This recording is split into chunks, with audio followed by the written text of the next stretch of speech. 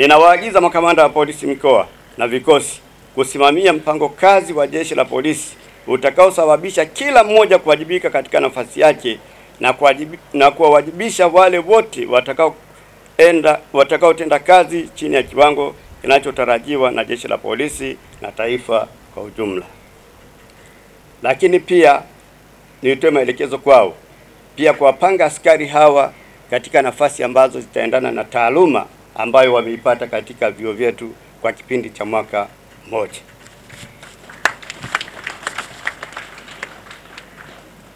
Jeshi la polisi halitakuwa na uvumilivu kwa askari yeyote atakayekiuka maadili ya kazi kwa kujihusisha na vitendo vya rushwa.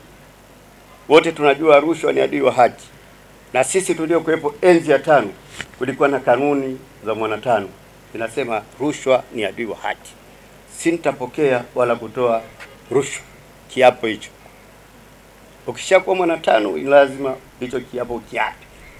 Sasa wa sasa nawataka na nyinyi mkiape kwamba rushwa ni adui wa haki, hamtakubali kupokea wala kushawishi.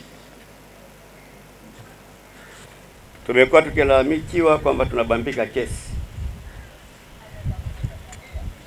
Tunaomba nyinyi mkawe mfano na ninyi mkawe walimu kwa wale walioko huko. Kama kuna ambao wanajihusisha na mambo kama hayo, tuache.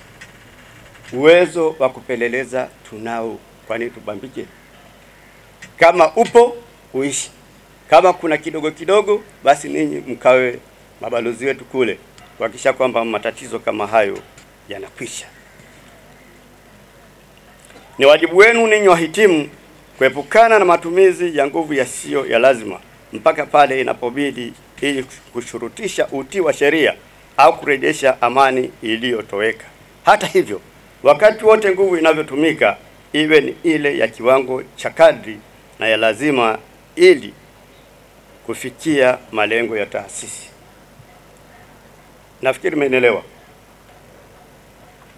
Sio kwamba nguvu isitumike, kuna kipindi inabidi nguvu itumike, na inapobidi nguvu itumike itumike, lakini nguvu iendane na tishio lililoko mbele yetu. Mfano, kama mtu ana bunduki anakulenga, ukimwacha atakuua. Ukitaka kumkamata kwa kawaida haitawezekana. Kwa hiyo ana bunduki, anashughulikiwa kibunduki hivyo hivyo.